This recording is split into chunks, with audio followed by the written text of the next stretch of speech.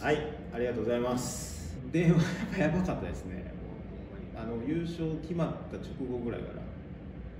まあ、携帯ポケットに入れてたらもうずっとバイブになってるみたいな感じだったんで、まあ、ありがたいですよね本当に。皆さん応援の応援とか祝福のコメントばっかりで嬉しかったです。電話しました。あ電話とか LINE しました普通になんか見てたっていうぐらいの感じで聞いて あの優勝してんけど見てたって言ったらライブで見てたみたいですね。ベスト4から。あの上の長男も見てたみたいです。長男はなんか優勝したでっつったらうんみたいな感じだったんですけど。普通に。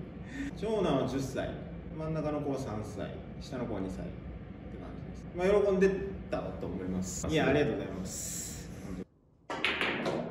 ベスト8の試合ですね、まあ、一番苦しかったしうんまあなんていうんですかあんま勝てた実感もなかったし、まあ、最後はしっかり締めれたなっていうところはあったんですけど。1個目で言うと,、えーとまあ、ファイナル中学プロとの対戦の時の、えーと、2-2の状態の時の5ラック目です。そうですね。まあだからどっちが1つ抜けるかっていうかその1個リードできるかっていうところの、うん、ラック、えーと、他はもう1個は、まあ、まあそれも内垣プロとの試合の時なんですけどファイナルですね。66の時ですね。66これもまあ同じ状況、まあ、前半のさっきは、えっと、22の時なんで前半の1つリードできるっていうところで。もう1個は66なんで本当にもう後半の、えーと、1つリードリードできるっていうか、まあ、リーチをかけれます。っていうところですね。そこの、まあ、ラックもすごい印象的ですね。あともう1個は、えーと、準決勝の時の、えーと、ロープロとの対戦ですね、うん。まあ、その時、まあ、そのゲームローさんとのゲームの、えー、と最後、えー、勝利を決めるラックですね、うん、それもすごい印象的です。もうなんか攻め攻めさせられてるというか。そうですね。そうしましょう。僕も振り返りたいですしねそうこう。めちゃくちゃ覚えてるんでなんか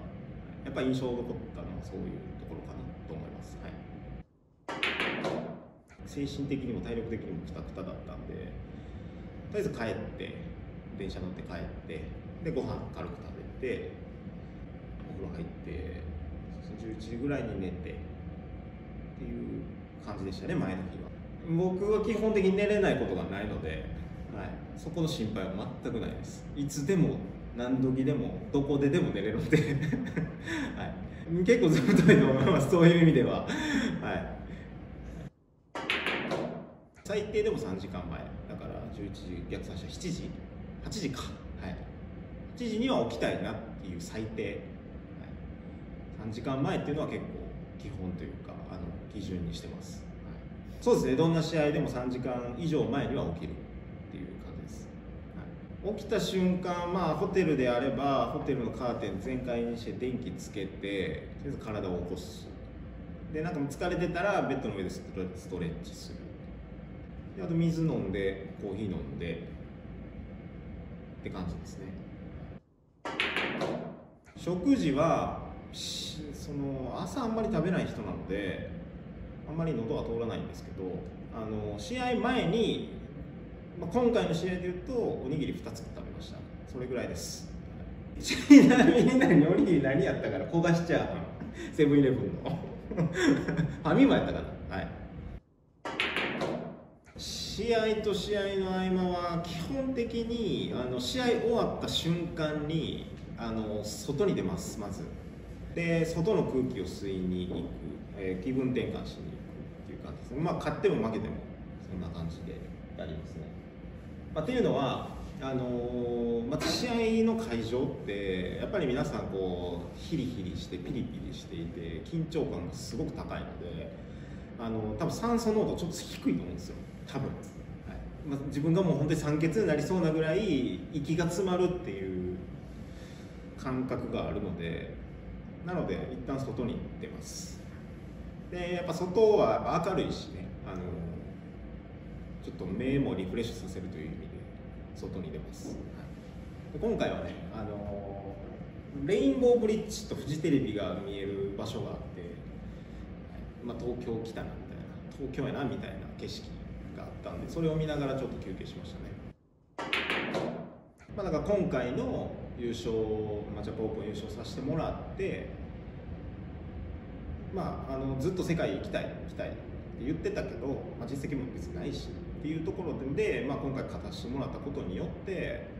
まあ、少しだけ世界への足がかりができたのかなと思うんで、まあ、今後に関しては、まあえーと、世界のメジャータイトルの優勝に向けてとりあえず出続けるように環境整備してあの自分の中の心を整えて自分の身の回りも整えてしっかり準備した中で何回も行く、うん、っていうのが一番こう、うん、チャンスが巡ってきそうな気がします。直接、まあ、会場に足運んでいただいて、まあ、間近で見ていただいた方もいますし、まあ、YouTube ライブで画面越しに応援していただいた方もいますしあの本当にいろんな方に、えー、見ていただいてあの、まあ、応援もしていただいてるなっていうのはすごい実感しましたし、うん。まあ、それは本当に終わってからのメッセージでも実感しましたし、まあ、SNS 上でのえーと、お祝いのコメントでもま実感しましたので本当にありがたいし嬉しい限りです、はい、ビリヤードって本当に苦しい時ってほんま苦しいんですよ。はいあのー、うまくいかないことの方が多いと思います本当に。で僕なんかもそうです、えーと、今年なんかジャパンオープン以外何一つとしていい成績残してないので予選落ちもするし。うん。なので、まあ、今回の試合も全然勝てるとも思ってなかったのが正直なところあるんですけど、まあ、続けていればあの、まあ、いいこともあるなっていうところで、まあ、何が目標かっていうのは人それぞれ違うと思うんですけど目標を置いてそこに達成した時の、まあ、喜びってすごいあの本当にめちゃくちゃ嬉しいのであの周りの人がやっぱり喜んでくれます。絶対に。僕もそういう、まあ、例えば何でもいいです。ハウストーナメントでも何でもいいと思うんですけど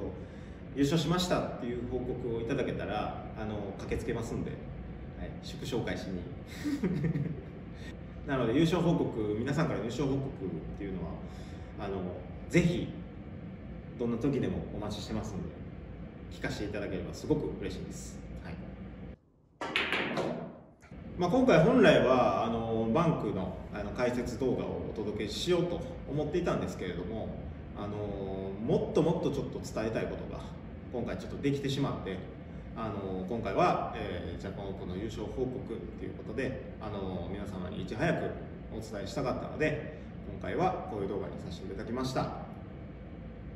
だから次回の内容は、まあ、あのすごいホットなので今あの、えー、今回のジャパンオープンで使ったバンクの配置の考え方とか狙い方とか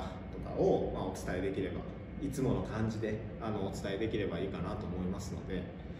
次回の動画もぜひお楽しみに見ていただければ嬉しいです。次回はバンクショットの解説を予定しております。ぜひいいねやコメントよろしくお願いいたします。じゃあねバイバイ。